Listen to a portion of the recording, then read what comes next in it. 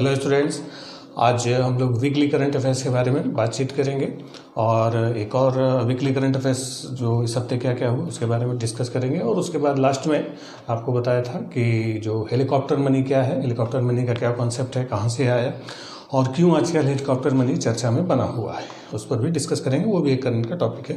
पहले इस हफ़्ते की कुछ खास खास बातें उसको आपको बताते हैं कि इस हफ़्ते, आज के दिन, यानी 25 सॉरी 26 अप्रैल।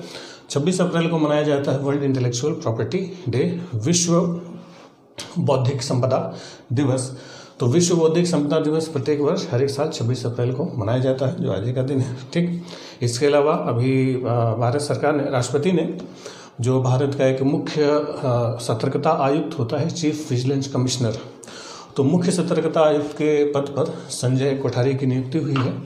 तो जो सीवीसी होते हैं विजिलेंस का मतलब होता है सतर्कता, जो विभागों में भ्रष्टाचार होता है, भ्रष्टाचार की जाँच के लिए सतर्कता आयोग काम करता है विजिलेंस कमीशन काम करता है, उसी के हेड होते हैं जो विजिलेंस यानी जो करप्शन है करप्शन की शिकायतों की जाँच पड़ताल करना उस पर कार्रवाई करना, इनका काम होता है। तो वही सतर्कता, मुख्य सतर्कता आयुक्त चीफ विजिलेंस कमिश्नर कौन अपॉइंट हुए हैं? संजय कोठारी। ठीक? अभी एक और अभी एक बड़ी खबर इस बार हुई है अंतर्राष्ट्रीय हल्के से कि नासा, जो अमेरिका की जो स्पेस एजेंसी है, नासा ने एक वेंटिलेटर डेवलप किया है, जिसका नाम है vital V I T A L ventilator. Intervention technology accessible locally कि बहुत आसानी से एक्सेस होने वाला ये वेंटिलेटर है। ये कोविड नाइन्टीन के जो संक्रमण चल रहा है, कोरोना का जो संक्रमण चल रहा है तो उसमें अमेरिका में बहुत ज़्यादा इन्फेक्शन फैला हुआ है। तो उसी को ध्यान में रखते हुए नासा ने बहुत कम समय में एक एसेसबल जो है कि इंटरनेशनल वेंटिलेटर बनाया है, जिसका नाम क्या रखा गया है? Vital V I T A L ventilator intervention technology accessible locally और इसको डेवलप किसने किया है? नासा ने। नासा ने इसको डेवलप किया है, ठीक? जो अमेरिका की स्पेस एजेंसी है। इसके अलावा ईरान का नाम आपने सुना होगा सेंट्रल एशियाई देश है। तो जो ईरान है, ईरान ने अपना पहला, जो मिलिट्री सैटेलाइट मिलिट्री सैटेलाइट का मतलब होता है जो उपग्रह उन्होंने अपना डेवलप की उपग्रह को प्रक्षेपित किया गया सैनिक जो आवश्यकताओं की पूर्ति के लिए तो उसी को नाम दिया गया है नूर। तो नूर क्या है? ये ईरान द्वारा विकसित किया हुआ क्या है? मिलिट्री सैटेलाइट है, जो सैनिक कार्यों के लिए उपयोग किया जाएगा, ठीक? इसके अलावा 25 अप्रैल को विश्व मलेरिया दिवस मनाया जाता है, वर्ल्ड मलेरिया डे। ये जो विश्व मलेरिया दिवस इस बार मनाया गया है, इस बार की जो थीम रखी गई है, zero malaria starts with me. तो zero malaria start with me ये इस बार के जो 2020 का विश्व मलेरिया दिवस है वर्ल्ड मलेरिया डे है, पच्चीस अप्रैल, इसकी थीम रखी गई है। इसके अलावा अभी चौबीस अप्रैल को हमारे यहाँ पंचायत दिवस मनाया जाता है। तो जो ग्राम पंचायत है तो पंचायतों के बारे में अभी पिछले वीडियो में डिटेल में हम लोग चर्चा किए थे। तो उसी दिन चौबीस अप्रैल को ही प्रधानमंत्री ने ई ग्राम स्वराज पोर्टल को लॉन्च किया है। और इसमें E Gram Swaraj dot gov dot in के नाम से इस पोर्टल को लॉन्च किया गया, जो गाँव में पंचायतों से जुड़ी हुई जो समस्याएँ उन समस्याओं का समाधान करेगी। तो ये ई ग्राम स्वराज 24 अप्रैल को भारत के प्रधानमंत्री नरेंद्र मोदी ने लॉन्च किया। इसके अलावा अभी चाइना ने टीनावेन वन ये जो टीनावेन वन है, ये चाइना का, चीन का पहला मंगल मिशन है। जैसे भारत का मंगलयान मिशन था, जो मंगल के लिए गया था, सफल प्रक्षेपण था भारत का, उसी तरीके से भारत के बाद अब चीन ने भी मंगल की तरफ़ रुख किया है, और इनका पहला मंगल मिशन कौन सा है? ताइनावेन ताइनवेन। तो ताइनवेन या तियनवेन ज़्यादा सही लग रहा है तियन वेन हाँ ठीक। तो तियन वेन ये चाइना का मंगल, मार्स मिशन है, मंगल मिशन है। ठीक? इसके अलावा जो कोरोना के संकट के दौरान लोग घरों में ही लॉकडाउन चल रहा है, लोग घरों में ही है तो इसलिए जो केंद्रीय मानव संसाधन विकास मंत्रालय है तो उसी के मंत्री मनोज ये निशंक जी ने पोखरियाल निशंक ने, एक नया कैंपेन शुरू किया है hashtag my book my friend campaign कि इस बंदी के दौर में जब सब लोग घर पे ही बैठे हुए हैं तो इसमें आपका सबसे अच्छा मित्र आपकी किताबें हो सकती हैं। तो उसी को लोगों को, किताबों को पढ़ने के लिए मोटिवेट करने के लिए हैशटैग ये चलाया गया है। ये मानव संसाधन विकास मंत्री जो हैं, हमारे रमेश पोखरियाल निशंक, उन्होंने इसको चलाया है। My book my friend campaign ठीक? चलिए, इसके अलावा तेईस तारीख को, तेईस अप्रैल को अंतर्राष्ट्रीय बालिका दिवस मनाया जाता है इंटरनेशनल गर्ल्स डे तो ये जो अंतर्राष्ट्रीय बालिका दिवस है, ये हर साल तेईस तारीख को मनाया जाता है। इसी तेईस अप्रैल को विश्व पुस्तक दिवस, वर्ल्ड बुक डे मनाया जाता है। और इसी तेईस तारीख को इंग्लिश लैंग्वेज दिवस। तो जो अंग्रेज़ी भाषा दिवस है, ये भी तेईस अप्रैल को ही मनाया जाता है। बाईस अप्रैल को इस बार पृथ्वी दिवस मनाया गया है, पचासवां। इस पृथ्वी दिवस की शुरुआत 1970 में हुई थी, अर्थ डे। तो उस समय एक अमेरिका के सीनेटर थे, गिलार्ड नेल्सन। तो गिलार्ड नेल्सन ने सबसे पहले वो पर्यावरण को लेकर बहुत ज़्यादा चिंतित रहते थे और पृथ्वी पर जो पर्यावरणीय जो समस्याएँ उत्पन्न हो रही थी, उसी को लेकर उन्होंने अमेरिका के सीनेट में प्रस्ताव लाया था। तब से पृथ्वी दिवस बाद में फिर मनाने की शुरुआत की गई। अर्थ डे, कि इस दिन पर्यावरण और पृथ्वी के हितों के बारे में चर्चा की जाती है। तो इस बार जो बाईस अप्रैल को पृथ्वी दिवस, यानी अर्थ डे मनाया गया है, ये पचासवां अर्थ दिवस है। और इसका कॉन्सेप्ट किसने दिया था? सीनेटर गिलार्ड नेंसन ये सब सत्तर में ही दे दिया था, ठीक? चलिए, इसके अलावा अभी विश्व प्रेस स्वतंत्रता सूचकांक अभी आया है 2020 का। तो 2020 का जो वर्ल्ड प्रेस फ्रीडम इंडेक्स है 2020 विश्व प्रेस स्वतंत्रता सूचकांक, इसमें भारत की जो पोजीशन है, बहुत अच्छी नहीं है। भारत इस पर बयालीसवें स्थान पर है। अरे सॉरी एक सौ बयालीस। भारत इस पर एक सौ बयालीसवें स्थान पर है। किस इंडेक्स में? ये इंडेक्सेस आते हैं आपके एग्ज़ाम में। वर्ल्ड प्रेस फ्रीडम इंडेक्स इसमें इंडिया वन फोर्टी सेकेंड हाँ खुशी की बात यह है कि इस पाकिस्तान थोड़ा हमसे भी पीछे है। पाकिस्तान की जो पोजीशन है, इसमें एक सौ पैंतालीसवें वन फोर्टी फिफ्थ और हमारा जो एक और पड़ोसी है, बांग्लादेश। बांग्लादेश एक सौ इक्यावनवें स्थान पर है। तो ये जो इंडेक्स आता है, ये प्रेस की स्वतंत्रता को ध्यान में रखते हुए इस इंडेक्स को बनाया जाता है। तो इसका मतलब प्रेस की स्वतंत्रता के मामले में भारत की स्थिति शायद उतनी अच्छी अभी नहीं लग रही। है ठीक, चलिए। अभी एक और नियुक्ति हुई है आरबीआई ने जो हमारी यूनियन बैंक है, यूनियन बैंक के एमडी और सीईओ नियुक्त किया है एम कामकोडी को। तो M Kamakodi CEO and MD of Union Bank appoint किए गए। ठीक, इसके अलावा अभी पीवी संधू जो बैडमिंटन के खिलाड़ी हैं तो पीवी संधू ने एक कैंपेन लॉन्च किया है आई एम बैडमिंटन ये साफ़ सफ़ाई के लिए कैंपेन लॉन्च किया गया है। तो ये जो साफ़ सफ़ाई के कैंपेन लॉन्च किया गया आई एम बैडमिंटन ये पीवी संधू ने इसको लॉन्च किया है, ठीक इसके अलावा एक दो दिवस और हमारे यहाँ मनाए जाते हैं इस हफ़्ते में, जैसे 21 अप्रैल है 21 अप्रैल। तो 21 अप्रैल को सिविल सर्विसेज़ डे मनाया जाता है। सिविल सर्विसेज़ डे, सिविल सेवा दिवस।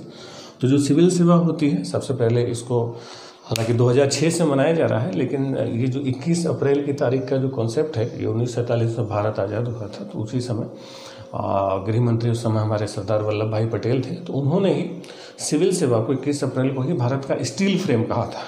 ये जो सिविल सेवक हैं ये भारत के स्टील फ्रेम है भारत को किसी भी समस्या को आ, से जूझने के लिए मजबूती प्रदान करते हैं तो कोई समस्या ना आने पाए तो इसीलिए इक्कीस अप्रैल को सिविल सर्विसेज़ डे मनाया जाता है इसी दिन सरदार पटेल ने सिविल सेवा को स्टील फ्रेम ऑफ़ इंडिया कहा था, भारत का इस्पाती ढांचा। ठीक है, ये हर साल 21 अप्रैल को ही मनाया जाता है। इसी 21 अप्रैल को world creativity and innovation day भी मनाया जाता है, विश्व रचनात्मकता और नवाचार दिवस। ठीक तो जो विश्व रचनात्मकता और नवाचार दिवस मनाया जाता है, इक्कीस अप्रैल को ही मनाया जाता है। ठीक इसके अलावा एक ऐतिहासिक घटना भी इस हफ़्ते की है जो बहुत बड़ी है। हुआ ये था कि 1977 में उस समय रूस, रशिया यूएसएसआर संयुक्त रूप से था। तो उस रूस ने चेरनोबिल में एक बहुत बड़ा अपना एटॉमिक रिएक्टर लगाया था, परमाणु संयंत्र लगाया गया था। उसी एटॉमिक रिएक्टर में 26 अप्रैल उन्नीस सौ छियासी को जो है कि दुर्घटना हो गई थी और उसका बॉयलर फट गया था, जिसकी वजह से बहुत बड़ा एक न्यूक्लियर एक्सीडेंट हुआ। परमाणु दुर्घटना हुई थी जिससे माना जाता है कि चौरासी लाख लोग, चौरासी लाख लोग डायरेक्टली इससे प्रभावित हुए थे उस न्यूक्लियर रेडिएशन की वजह से। तो इसलिए इस दिन जो है कि चेरनोबिल डिजास्टर डे के रूप में भी कुछ लोग याद करते हैं, क्योंकि ये आपदा बहुत भयानक थी। परमाणु जो है कि ऊर्जा का जो विस्तार हो रहा है, उसी को ध्यान में देते, रखते हुए कि सावधानी बरती जाए ताकि एटॉमिक रिएक्टर्स को ज़्यादा नुकसान न पहुँचाया जाए। और एटॉमिक रिएक्टर्स को मजबूती दी जाए क्योंकि ये जो चेरनोबिल की दुर्घटना थी, ये बहुत बड़ी, इसे चौरासी लाख लोग सीधे सीधे प्रभावित हुए थे। तो ये भी इतिहास का एक काला अध्याय इसी सप्ताह में ही मनाया गया। ठीक, चलिए। तो ये जो आज के कुछ खास खास फैक्ट्स हैं, चाहे तो एक साथ आप स्क्रीन इसका ले सकते हैं या इसको डायरेक्टली आप लिख भी सकते हैं। ठीक, चलिए। अब, दूसरा टॉपिक आज का हम लोग का है हेलीकॉप्टर मनी तो जो हेलीकॉप्टर मनी का जो कॉन्सेप्ट है हेलीकॉप्टर मनी का कॉन्सेप्ट अभी चर्चा में इसलिए आया कि अभी कोविड का जो संकट चल रहा था तो इसकी वजह से अर्थव्यवस्था बिल्कुल बुरी तरीके से टूटी हुई है, लोगों के पास रोज़गार जो थे, जो दिहाड़ी मजदूर थे, या बाकी लोगों के पास इनकम के साधन बिल्कुल कम हो गए, कंपनियों को बहुत ज़्यादा नुकसान हुआ है, सरकार को बहुत ज़्यादा नुकसान हुआ है। तो इसी नुकसान से उबरने के लिए जो तेलंगाना हमारा राज्य है तो तेलंगाना राज्य के जो चीफ मिनिस्टर हैं चंद्रशेखर राव तो उन्होंने, चंद्रशेखर राव थे इन्होंने इसी हेलीकॉप्टर मनी हेलीकॉप्टर मनी का कॉन्सेप्ट दिया। कि सरकार को हेलीकॉप्टर मनी प्रोग्राम पर आगे बढ़ना चाहिए। हेलीकॉप्टर मनी कार्यक्रम चलाया जाना चाहिए। तो ये हेलीकॉप्टर मनी की डिमांड किसने की है? चंद्रशेखर राव जो तेलंगाना के सीएम है। अब ये हेलीकॉप्टर मनी है क्या? कहाँ से इसकी शुरुआत हुई? हेलीकॉप्टर मनी का जो कॉन्सेप्ट था, ये एक बहुत बड़े इकॉनमिक्स थे, मिल्टन फ्रीडमैन। तो मिल्टन फ्रीडमैन ने, मिल्टन फ्रीडमैन ठीक है। मिल्टन फ्रीडमैन ने सबसे पहले, और उन्नीस सौ उनहत्तर में 1969 में ये प्रस्ताव दिया था तो उस समय अमेरिका में मंदी चल रही थी तो उन्होंने सरकार को एक, उस मंदी से निजात पाने के लिए, बाहर निकलने के लिए हेलीकॉप्टर मनी का कॉन्सेप्ट दिया था कि सरकार को चाहिए कि नोट बहुत भारी मात्रा में छापे जाएँ प्रिंट करवाए जाएँ, क्योंकि कागज़ के नोट होते हैं तो नोट सरकार बहुत भारी मात्रा में प्रिंट करे, और इसको सीधे सीधे लोगों में बांट दिया जाए, इसको उधार के तरीके से नहीं डायरेक्ट ऐसे ही दे दिया जाए, खूब भारी मात्रा में। ऐसे हेलीकॉप्टर में नहीं मतलब ऐसे ही रेंडमली सबको बांट दिया जाए, ताकि लोगों के पास पैसा आए, लोगों के पास जब पैसा आएगा तो लोग क्या करेंगे? खरीदारी करेंगे। जब डिमांड करेंगे तो कोई अच्छे खाने की डिमांड करेगा, कोई पिक्चर देखने जाएगा, कोई कपड़ा खरीदने जाएगा, कोई घूमने फिरने जाएगा तो जब लोगों की डिमांड बढ़ेगी तो मूवी सिनेमा की टिकट की डिमांड बढ़ेगी तो अच्छे कपड़ों की डिमांड बढ़ेगी तो कोई डिओ परफ्यूम ले जाएगा तो परफ्यूम की डिमांड बढ़ेगी, कहीं घूमने फिरने जाएगा तो गाड़ियों की डिमांड बढ़ेगी। तो इससे इससे डिमांड क्या होगी? धीरे धीरे करके जनरेट होगी। जब डिमांड जनरेट होगी तो बाकी लोगों की इनकम बढ़ेगी तब तो इकॉनमी की साइकिल थोड़ी जल्दी जल्दी चलेगी और उस मंदी से हम जल्दी से बाहर निकल पाएँगे। तो उन्होंने बताया कि सरकार को क्या करना है? अब ऐसे कैसे बांटेंगे? तो उन्होंने ऐसे ही एक जनरल आइडिया दी सरकार को हेलीकॉप्टर में पैसा बोरा भर के लेके जाना चाहिए और ऊपर ही ऐसे उड़ा देना चाहिए। अब जिसके जिसकी किस्मत में जितना पैसा आया अपना ले लिया, लेके अपना खर्च करना शुरू कर दिया। ये एक उधार के तरीके से नहीं होगा, बस रेंडमली ऐसे दे दिया जाए। ठीक? ये कॉन्सेप्ट दिया था इन्होंने। और, इनको बाद में नोबेल अवार्ड मिला था 1976 में, उन्नीस सौ छिहत्तर में मिल्टन फ्रीडमैन को।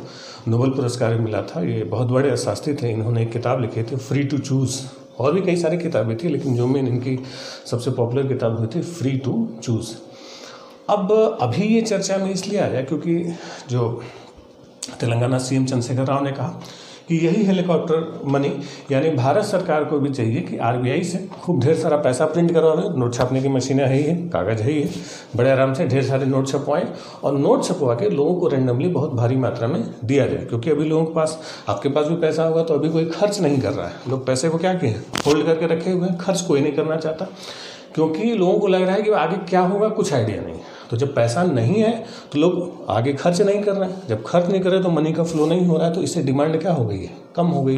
तो इससे सारे क्षेत्र बुरी तरीके से प्रभावित हो गए। और सरकार अगर भारी मात्रा में लोगों को पैसा देगी तो लोग नई नई चीज़ें खरीदेंगे। जब खरीदेंगे, अच्छे कपड़े खरीदेंगे, सिनेमा देखने जाएँगे, घूमने फिरने जाएँगे तो डिमांड क्या होगी? बढ़ेगी। तो उन चीज़ों की डिमांड बढ़ेगी तो धीरे धीरे करके इकॉनमी को हमारे बूस्टअप मिलेगा। तो ये डिमांड इन्होंने की। हालाँकि ये डिमांड की तो ज़रूर है, लेकिन ये डिमांड अभी की स्थिति के लिए शायद उतनी अच्छी न हो मेरे विचार से। क्योंकि इससे क्या होगा कि रेंडमली अगर सरकार पैसा लेती है आरबीआई से उधार नहीं, बस ऐसे ही बांटने के लिए तो ऐसे ही किसको देंगे? पता चला कि इसमें पहला तो करप्शन शुरू होगा, कि पता चला कि बड़े बड़े मंत्री हैं, नेता हैं, उससे पैसा आप नहीं दबा के रखना शुरू करेंगे। और फिर अगर पैसा फ्री में पब्लिक को बांट दिया जाए तो फिर पब्लिक काम क्यों करेगी? तो इससे लोगों की जो इफ़िशियंसी है, वो फ़र्क पड़ेगा। अब जिसको पैसा मिल गया, वो तो ठीक जिसको नहीं मिला वो कहाँ जाएगा ये एक बड़ी समस्या है, क्योंकि ऐसी व्यवस्था छोटे देशों में चल सकती है। भारत एक बहुत बड़ा देश है 130 करोड़ से ज़्यादा की आबादी है, ठीक? इससे कानून व्यवस्था को भी संकट उत्पन्न हो सकता है, पता चला कि हेलीकॉप्टर से पैसा बरसा रहे लोग, पता चला हेलीकॉप्टर को उड़ाना शुरू कर दी, उसकी किडनेपिंग शुरू कर दी तो कानून व्यवस्था का भी संकट उत्पन्न हो सकता है। इससे जो है कि इन्फ्लेशन भाई जब बहुत ज़्यादा डिमांड बहुत ज़्यादा मनी की सप्लाई बढ़ेगी तो मुद्रा स्फीति क्या होगी? हाइपर इन्फ्लेशन कंडीशन होगी, जैसा कि जिम्बाब्वे में हुआ वेनेजुएला में हुआ। अब जिम्बाब्वे और वेनेजुएला में वहाँ पर भी सरकारों ने डिमांड बढ़ाने के लिए क्या किया था? कि वहाँ पर लोगों की डिमांड कम थी तो सरकारों ने डिमांड बढ़ाने के लिए बड़ी बड़ी, भारी मात्रा में नोट छापने शुरू किए नोट छाप के पाट दिए। अब पता चल पब्लिक खूब जम के खर्च कर रही है तो इससे क्या हुआ? मनी की वैल्यू क्या हो जाएगी? गिर जाएगी। अब सोचिए, लोग एक एक झोला नोट लेके जाते हैं, एक थैले में थोड़ा सा सब्ज़ी लेके आते हैं। तो इतनी ज़्यादा हाइपर इन्फ्लेशन कंडीशन उन देशों में आ गई। तो भारत के लिए फ़िलहाल अभी इतनी बुरी स्थिति आर्थिक रूप से नहीं है। अगर तीन में एक बार लॉकडाउन खत्म होता है धीरे धीरे करके अर्थव्यवस्था, बाकी फैक्ट्रियाँ प्रोडक्शन काम शुरू होता है तो डिमांड फिर से जनरेट हो सकती है। अभी इतनी जल्दी हेलीकॉप्टर मनी के प्रोग्राम की ज़रूरत देश को नहीं है कि ढेर सारा पैसा बांट दिया जाए।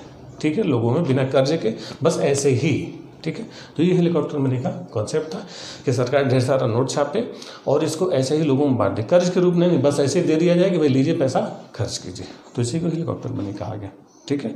चलिए, इस हफ़्ते के लिए इतना ही करंट अफेयर्स आपको पता है करंट अफेयर्स आपको ज़्यादा नहीं पढ़ना है। डेली बस दो दो फैक्ट हफ़्ते में दस पंद्रह फैक्ट से ज़्यादा आपके पास नहीं होने चाहिए। यही हर हफ़्ते थोड़ा थोड़ा करके आप कलेक्ट करेंगे, तब जाके महीने में आप दो तीन महीने में आपके करंट अफेयर्स पर अच्छी पकड़ बन जाएगी। आज के लिए इतना ही। Thank you